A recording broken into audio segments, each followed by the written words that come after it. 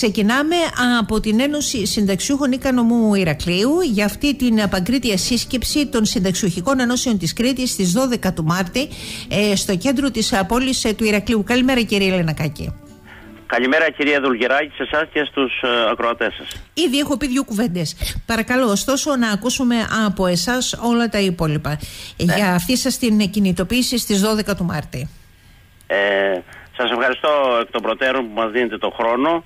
Ε, ε, θα ήθελα να πω ότι, λοιπόν, ότι ε, εμείς ε, κάναμε μία σύσκεψη παγκρίτια όλες τις συνταξιουχές οργανώσεις της Κρήτης και για να συζητήσουμε τα προβλήματά μας τα οποία παραμένουν τα προβλήματα των συνταξιούχων και ό,τι ακριβώς μέχρι τώρα έχει τσακίσει τη συντάξη μας είναι στο, ισχύει στο ακέραιο και για το 2024 γι' αυτό αναγκαζόμαστε και βγαίνουμε στο δρόμο ε, επειδή ακριβώς έχουμε προβλήματα.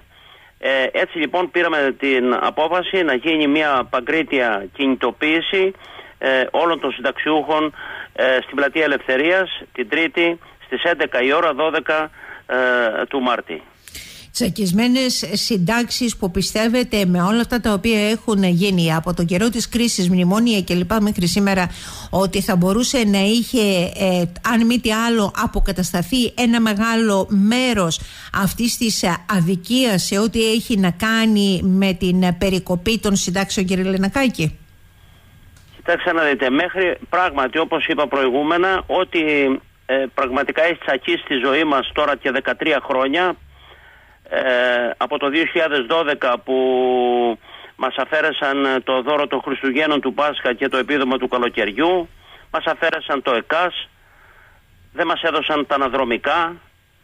Είναι μια σειρά θέματα ε, τα οποία πραγματικά είναι σε μεγάλη εκκρεμότητα και θα ήθελα εδώ να πω το εξής ότι ε, δεν τα λαμβάνουν υπόψη καθόλου την ληστεία που έχουν υποστεί τις συντάξεις μας ε, τις, τις ξέχασαν τους, τους τα υπενθυμίζουμε συνέχεια και περιμέναμε μια αξιο, αξιοπρεπή αύξηση για το 2024 για το χαμένο εισόδημα που έχουμε διότι οι συντάξεις μας συνεχώς μειώνονται με την ακρίβεια και με τις ανατιμήσεις της συνεχής σε τρόφιμα και σε είδη πρώτης λαϊκής ε, ανάγκης.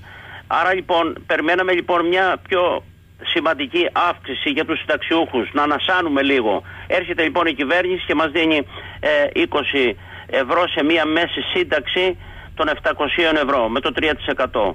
Πείτε μου τώρα εσείς τι να καλύψει ένας συνταξιούχος από όλη αυτή την ληστεία που έχει υποστεί και δεν είναι μόνο το 3% να το πούμε και να το, τα 20 ευρώ αφορούν μόνο την κύρια σύνταξη.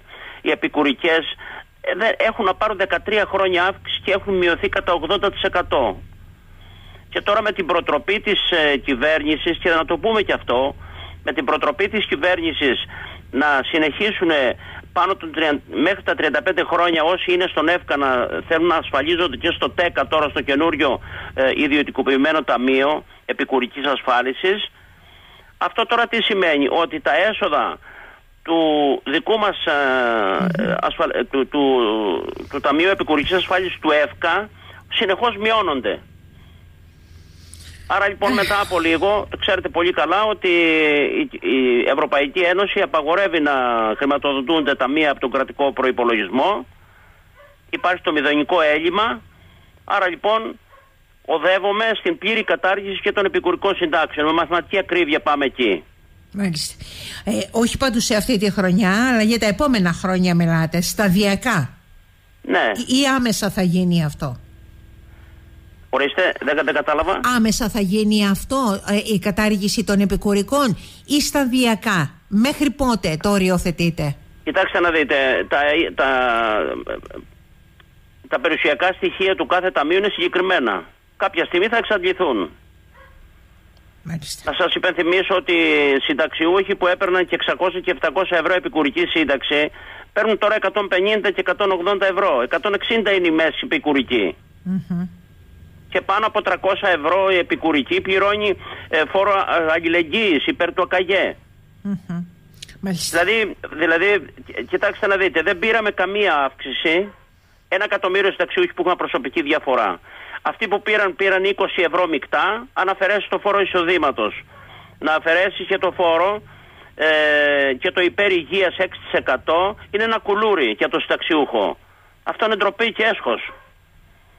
Είναι, είναι ντροπή και έσχος. Όταν, όταν έχεις ε, στον εργασιακό σου βίο καταβάλει τόσες ασφαλιστικές εισφορές ε, στο ταμείο σου και στην ε, συνέχεια να έχεις αυτές τις απολαβές, Ναι, ναι πραγματικά είναι, είναι, είναι θέμα αξιοπρεπούς διαβίωσης. Είναι, επειδή ακριβώς συζητιέται τώρα και το μήνυμα ασφαλιστικό που ετοιμάζεται η κυβέρνηση να φέρει, θα, θα ήθελα να σας πω το εξής. Πώς γίνεται ένας συνταξιούχος να μην παίρνει καμία αύξηση, γιατί έχει προσωπική διαφορά. Αυτός που παίρνει, παίρνει 20 ευρώ μεικτά και να συνεχίζει να πληρώνει φόρο αλληλεγγύης. Mm. Δεν κατάλαβα.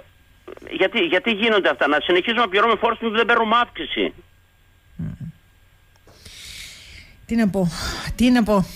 Ε, έχει ανοίξει από την άλλη για να δώσουμε και αυτή την πληροφορία. Απλά για να το ξέρουν οι συνάδελφοί σας, φαντάζομαι όσοι ε, τουλάχιστον εργάζονται ή θέλουν να εργαστούν, ότι θα το ξέρουν, το υπενθυμίζουμε η πλατφόρμα α, που θα πρέπει να γίνονται οι δηλώσεις ε, των συνταξιούχων οι οποίοι επιλέγουν και να εργάζονται, έτσι.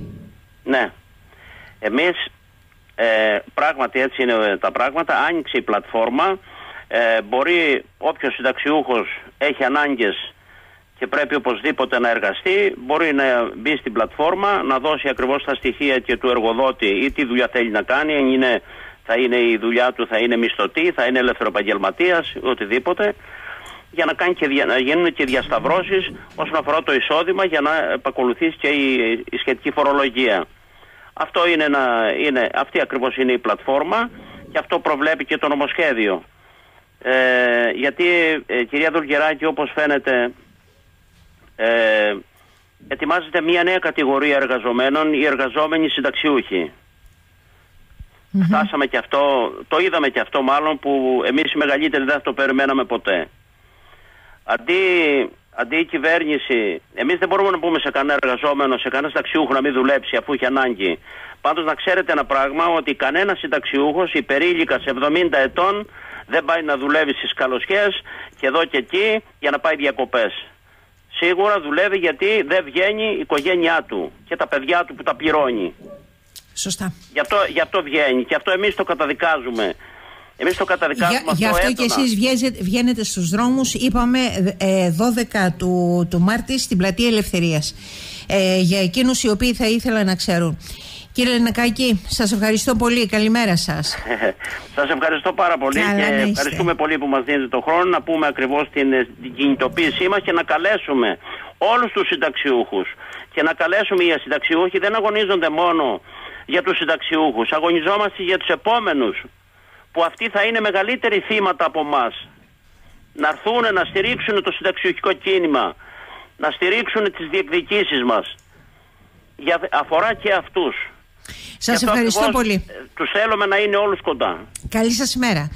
Από το ράδιο 984.